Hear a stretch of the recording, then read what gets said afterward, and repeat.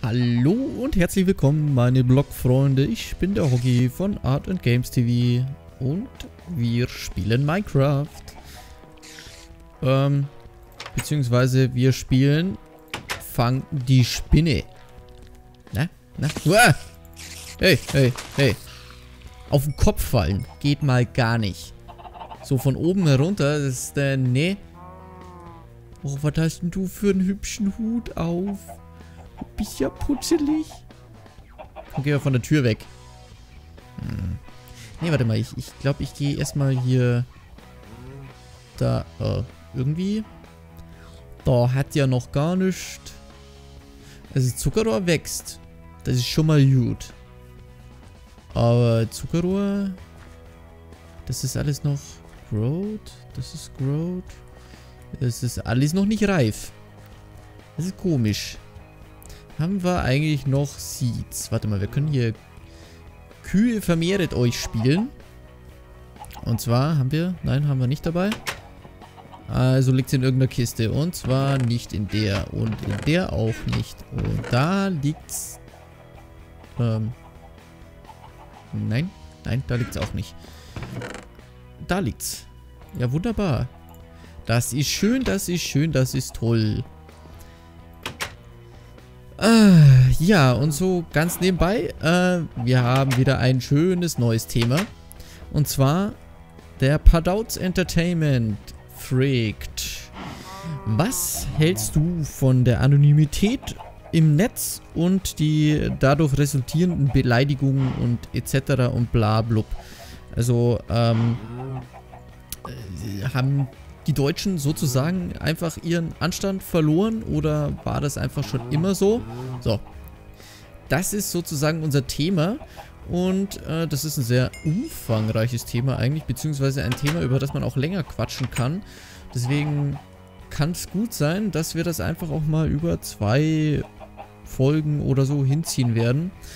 Und zwar äh, habt ihr das ja garantiert alle schon mitgekriegt äh, wenn ihr im Internet unterwegs seid, ähm, die ganzen Kommentare von wegen, äh, was bist du für ein Lappen und lauter so Zeug, so dieses Mobbing einfach, also das ist ja noch harmlos, weil das wird ja teilweise noch viel, viel schlimmer betrieben.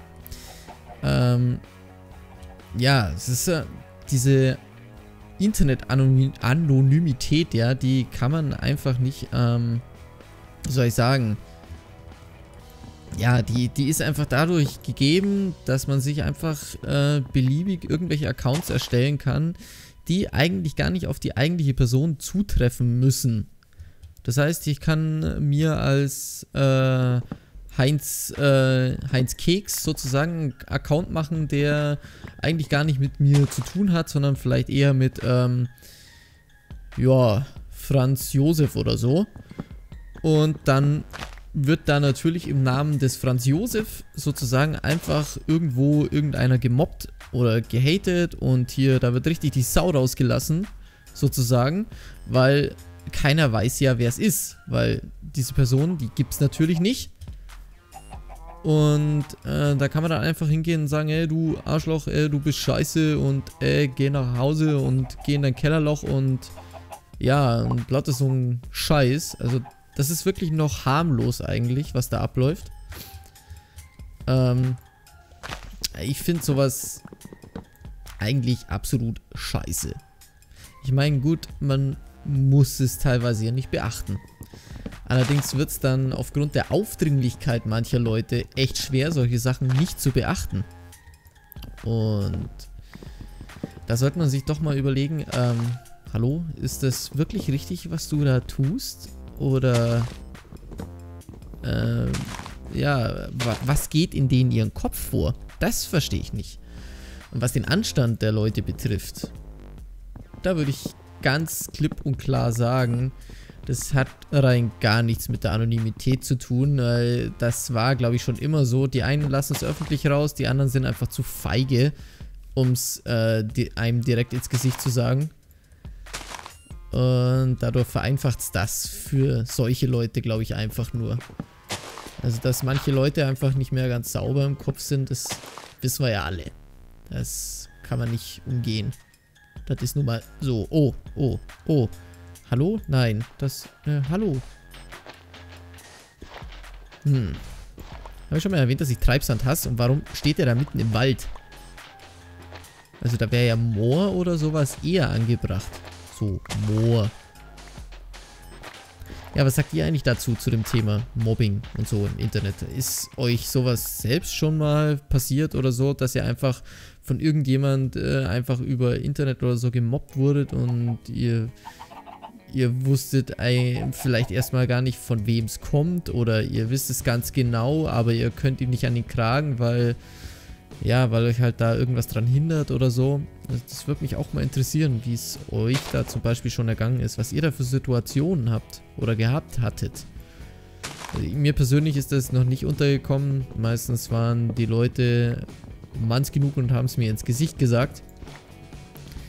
Und ja, also ich, ich finde, man sollte über, über sowas sollte man schon mal reden. Und auch wenn einem das selbst mal einem, einem, also wenn einem das selbst passiert, sag ich mal, muss man wirklich schauen, äh, ob's, ja, ob, ob, ob dieses Gehate, Geflame, Gemobbe, ob das wirklich so richtig ernst gemeint ist oder ob das einfach bloß so dahingesagt ist und so. Da würde ich ganz klar sagen, da muss man auch Unterschiede machen. Und ja, wenn man wirklich merkt, es geht einem wirklich zu nahe oder so, dann sollte man vielleicht wirklich ähm, sich mal mit der Person auseinandersetzen. Einfach mal fragen, warum. Meinetwegen, ey, du bist so voll das Arschloch und du bist voll kacke und so. Und dann einfach mal die Person fragen, warum? Was gefällt dir nicht an mir? Warum bin ich deiner Meinung nach ein Arschloch? Sowas hilft manchmal auch ganz gut weiter. Es entweder lass die Person aus und sagen äh, gar nichts mehr oder sie kommen dann rüber und meinen, ja, es äh, ist ja bloß Spaß und so. Warum gucke ich jetzt eigentlich in die Kiste?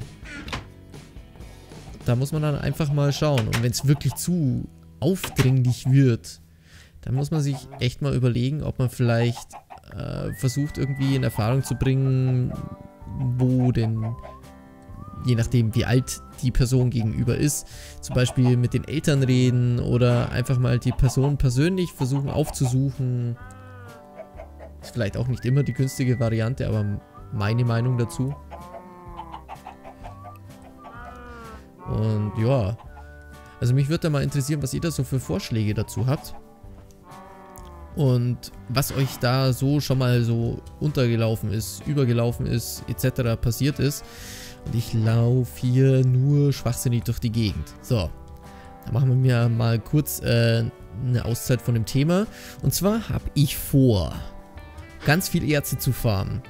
Und die dann sozusagen weiter zu verarbeiten. Und zwar gibt es da so ein schönes Maschinchen, das heißt äh, Pulverizer.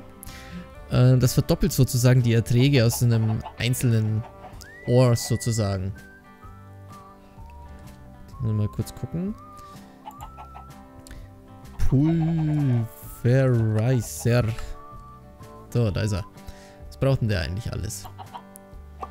Okay, Inva, Electrum Cheer, Signadum Cheer. Okay, naja, es gibt doch einige Sachen hier. Ja, das heißt, wir brauchen auf jeden Fall einiges an Erze erstmal als Grundvoraussetzung, um irgendwas überhaupt bauen zu können. Und wir brauchen definitiv Energie. Da gibt es auch einiges. Und das erste, die erste Energiequelle, wo, womit ich mich erstmal beschäftigen will, das ist auch aus äh, Thermal Expansion. Und da gibt es zum Beispiel ähm, diese, äh, wie heißen die denn? Steam... Steam, die Dinger hier. Genau, Steam Dynamos, die Dynamos. Und das müsste jetzt eigentlich einer sein. Genau, der braucht Water und Solid Fuel, also sowas wie Kohle oder Holz, irgendein Brennstoff oder so. Das wird, glaube ich, der erste sein, den ich mir bauen werde. Und dazu brauchen wir auch eine Menge Copper und Redstone und Zeug und Lump. Äh, ja, äh, es scheint so, als müssten wir erstmal auf eine ordentliche Mining-Tour gehen. Aber da habe ich eine Idee. Und zwar, ja, würde ich sagen, dass ich sowas wie extreme Mining-Touren, also wo ich wirklich nur am Berg rumklopfe, dass ich sowas einfach äh, offscreen mache. Einfach nur offscreen ein bisschen Erze farmen und so, weil es ja passiert ja eh meistens eh nichts Interessantes. Und sobald man da mal ein bisschen Vorrat hat und sobald dann ein bisschen was da ist, um was zu bauen, wird das auch wieder aufgenommen werden. Also wenn euch für euch das in Ordnung ist, für die, die zuschauen, äh, schreibt es mir noch in die Kommentare, ob das in Ordnung ist. Und du blödes Huhn, geh mal vor der Tür weg. Und dann können wir das einfach mal so machen. Also das erste Mal werde ich jetzt auf jeden Fall definitiv offscreen mal farmen, dass wir ein bisschen Grundlage haben, wie Kohle und so. Und dann geht's weiter, je nachdem, wie ihr euch entschieden habt. Hm. Ich überlege gerade. Ja, ich glaube, ich werde hier oben mal ein bisschen... Ey, hier schaut's aus. So viel Unkraut. Ich glaube, wir brauchen irgendwas, irgend so eine Art Unkrautjäter oder so. Wir könnten hier nämlich mal ein bisschen Flachland machen. Zack, zack, zack, zack. Es gibt so viel hier in dieser Mod, was man bauen kann, auch was Energie betrifft und Speichern und so. Da gibt es dieses ME-Storage-Dings und so, das auch sehr interessant ist. Allerdings muss ich mich da wirklich mal mit auseinandersetzen, weil das habe ich wirklich noch gar nicht benutzt. Da ist Thermal Expansion ist da schon eher was, was mir was mir bekannt ist, sage ich jetzt mal, wo ich mich ein bisschen besser mit auskenne. Deswegen habe ich das jetzt auch für den Anfang ausgewählt. Und die anderen Sachen, da muss ich mich so reinarbeiten und ich hoffe, dass die Leute, die mir zuschauen, mir hin und wieder auch Tipps geben können dazu. Wie man was machen kann, wie was funktioniert oder so. Oder wenn ihr irgendwelche hilfreichen Kommentare dazu habt, einfach drunter schreiben. Würde mich auf jeden Fall freuen und da geht das dann auch ein bisschen fixer weiter. Dass ich nicht immer so ewig rumstehe. So. Wird das noch weg? Schaut doch schon gut aus. So. Und jetzt gehen wir mal ähm, doch mal nochmal kurz zu den Kühen gucken. Vielleicht können wir sie schon wieder ein bisschen mit Weizen mobben. Schaut gut aus. Nee, schaut nicht gut aus, oder? Schaut gut aus oder schaut nicht gut aus? Ja, schaut gut aus. Machen wir gleich nochmal eine Kuh. Schön. Mo. Oh, da ist Weizen. Mo.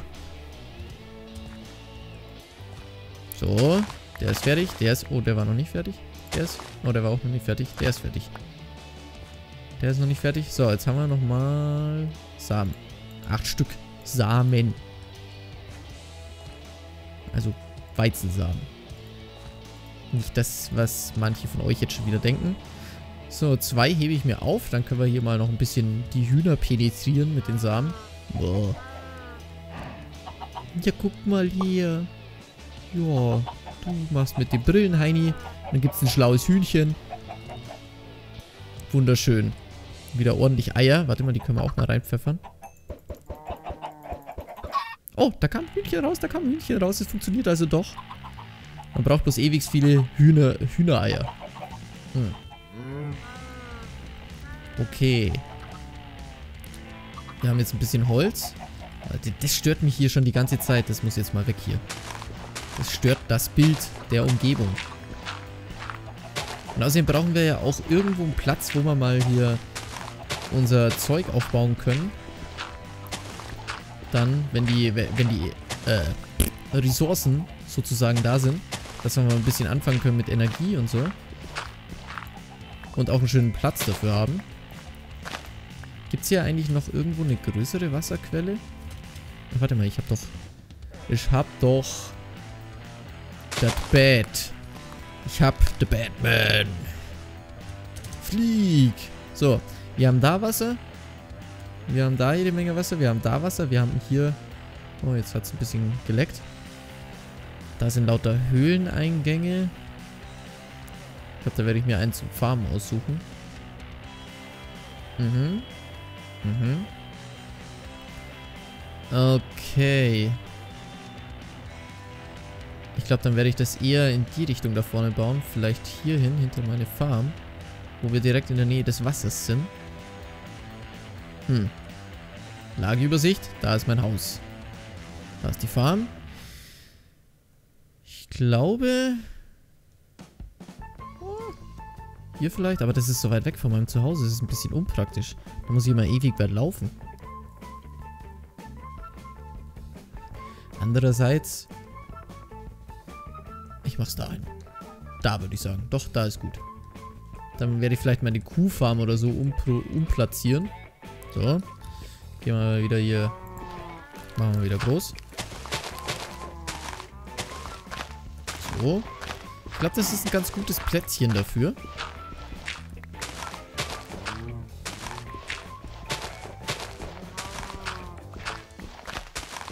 So, so, so.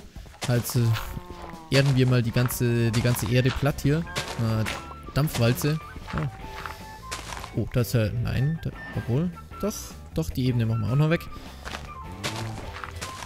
Dadam, dadam. Oh, ich habe so Spaß auf Minecraft.